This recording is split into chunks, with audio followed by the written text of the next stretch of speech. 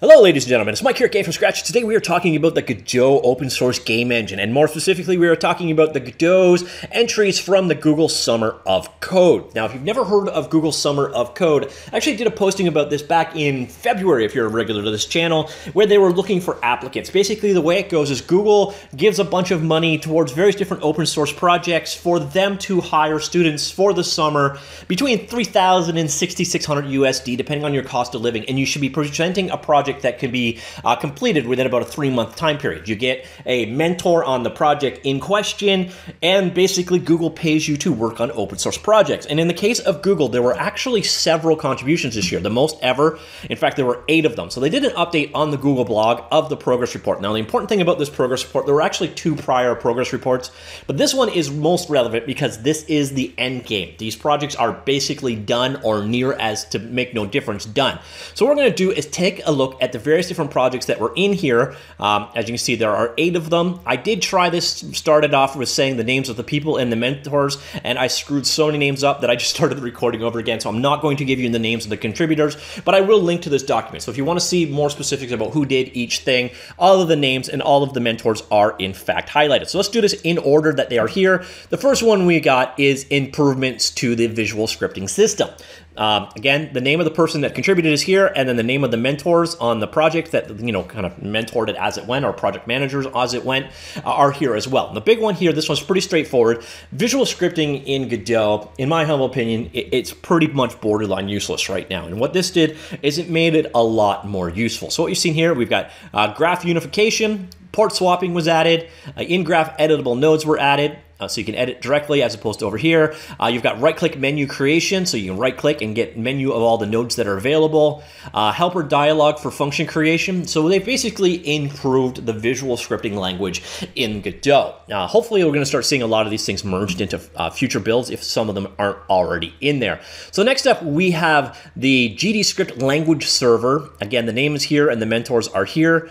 Uh, this is the integration script editor in Godot lacks features found in editors like Visual Studio Code, Sublime, Emacs, etc. These editors are more popular among developers, and therefore many want to switch to them uh, for their current usability. However, to implement core functionality such as uh, diagnosis, register custom symbols, jumping to definitions, etc., a language server structure had to be adopted. For example, the client, say Visual Studio Code, will communicate with the Godot language server to get desired results. What this is going to allow you to do is basically uh, work better with um, foreign IDEs, supporting Microsoft's language server protocol, which is supported by Visual Studio Code, which is my personal favorite, Atom, Sublime, etc. And what it allows you to do is do tighter integration between the Godot engine itself and your external editor. So it should make the functionality that you get for working with Godot for debugging and getting details back um, tighter, more uh, more capable, because Godot itself will host a language server that your editor can speak into. Um, so if you are working with something like uh, Visual Studio Code, it should be a nice improvement for you for the integration between them. At least this is laying the foundation for that. Next up, we have asynchronous cache file access. Uh, this project was to replace the already existing file access buffered class with a more flexible and robust solution for caching I.O. without relying on the operating system on any platform, including desktop and consoles. The old solution to the problem of cache I.O. was to use file access buffered. This was a problem because file access buffered only supported reading ahead and did not allow for seeking.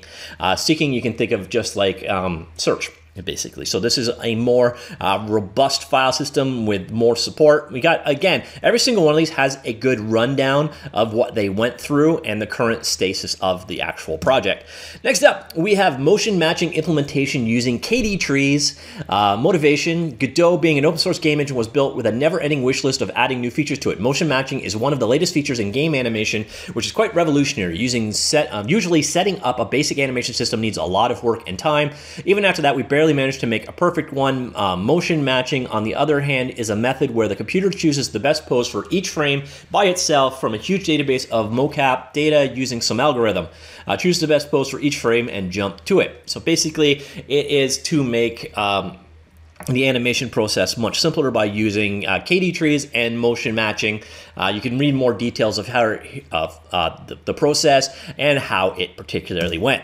So next up, we have interactive music. Um, so this one actually was mentored by Juan himself. Uh, the aim of this project was to implement an interactive music feature to the Godot engine, which consists of adding tempo and beat functionality to existing audio streams and adding two new classes called Audio Stream Playlist and Audio Stream Transitioner. The new BPM functionality work by setting a BPM to an audio stream, and Transitioner and playlists are able to count the samples with accuracy, the number of which, um, depending on how many beats the user has input, either on a stream in Playlist or fades in Transitioner. Audio Stream Playlist can play multiple audio streams in a sequence based on their tempo and beats, making this uh, the class has options for looping and shuffling the clips and can take up to 64 clips.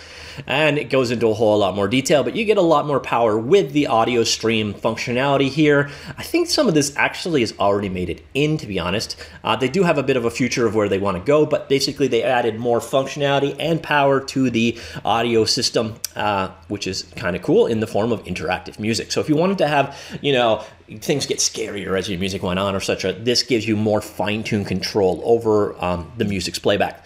Next up, we have Virtual Control System integration. This one's pretty straightforward. Um, virtual Control System uh, editor integration framework and Git plugin. Virtual Control System integration project introduces VCS, Virtual Control System management, from within the Godot editor. And this is kind of ubiquitous now. Visual Studio has it, Unity has it, uh, Unreal Engine has it. Pretty much Git integration in your tool is pretty much a standard feature these days.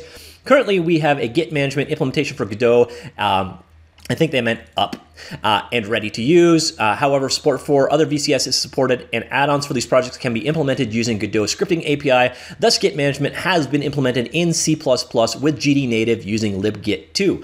So that's definitely a nice one, especially if you use version control, which you really probably should be, even if you are working by yourself. Um, and then static analyzer for GD script. For those who haven't read the previous progress report, I'll do a re quick recap. While making medium to large scale games in Godot, many small bugs start to creep in that can cannot be caught by the compiler.